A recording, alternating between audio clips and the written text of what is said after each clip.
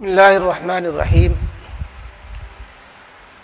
Ration जो control rate से बढ़ता है, इस सिलसिले में कंट्रोल डीलर अगर उस राशन को, बचे हुए राशन को दूसरों से फ़रोख्त करें तो उसका ख़रीदना और फ़रोख्त करना कैसा है? या मसलन जो राशन कार्ड जिनके पास होता है, वो गल्ला ख़रीद लें कंट्रोल की दुकान से, फिर वो दूसरों से बेचें। तो क्या वो बेच सकते हैं और उनसे ख़रीदना कैसा है? वो किसी भी कीमत में बेचें, कुछ ना कुछ रियायत के साथ ही मिलता है वो।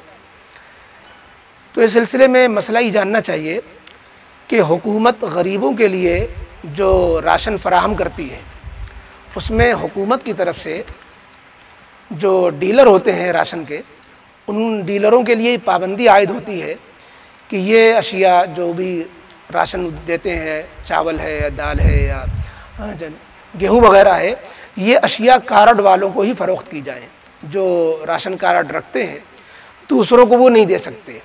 इसलिए राशन का जो डीलर होता है, वो ख़ुद मुख्तार ताजिर नहीं होता है, बल्कि वो हुकूमत का कारिंदा या वकील होता है। लिहाजा उस डीलर के लिए इस बात की गुंजाइश नहीं होती है कि वो दूसरों के हाथ में जो है फ़रोख्त कर दे खा वो उसी कीमत पर दे या ज़्यादा कीमत पर या कम कीमत पर, ये उसको इसकी इजाज़त जो है कानून नहीं होती। और शरण भी, चूँकि वो इसका मुजाज नहीं है और वो उसका मालिक भी नहीं है, बल्कि हुकूमत का कारिंदा है तो शरण भी इसकी इजाज़त नहीं है। जब उसको बेचने की इजाज़त नहीं है तो उसका दूसरों के लिए, राशन कार्ड वालों के अलावा के लिए उसका ख़रीदना भी दुरुस्त नहीं है। ये कानून की भी खिलाफ वर्जी है, चोरी भी है धोखादही भी है और असल हकदारों के साथ हक तलफी भी है। इसी से एक मसला और निकल आता है कि जो आंगनबाड़ी वगैरह में हुकूमत की तरफ़ से स्कूल के बच्चों के लिए राशन दिया जाता है, दाल दलिया दिया जाता है, उसमें भी बाद दफ़ा राशन बच जाता है। तो वो लोग भी पूछा करते हैं मास्टर लोग कि हम उस बचे हुए राशन को क्या बेच दें, ख़ुद इस्तेमाल कर लें, क्या करें?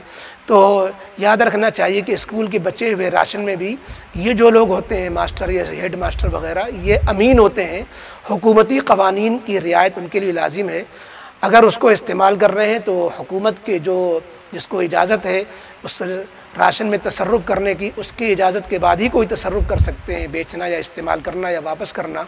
जहाँ तक मालूम है, उसे हुकूमत को वापस करना होगा या उसके इल्म में लाना होगा, उसमें खुद बुद करना या ख़ुद इस्तेमाल करना, इसकी शरान व कानून गुंजाइश नज़र नहीं आती है।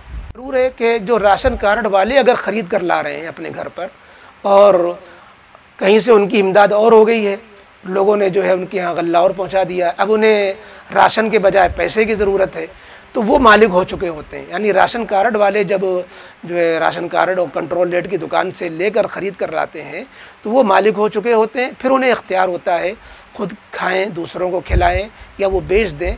उनके लिए अलबत्ता बेचने की इजाज़त होती है। लेकिन राशन कार्ड के जो डीलर लोग होते हैं, वो अलबत्ता इसके मुजाज नहीं होते और उन्हें इसके अख्तियार नहीं होता कि वो ख़ुद दूसरों से बेच सकें।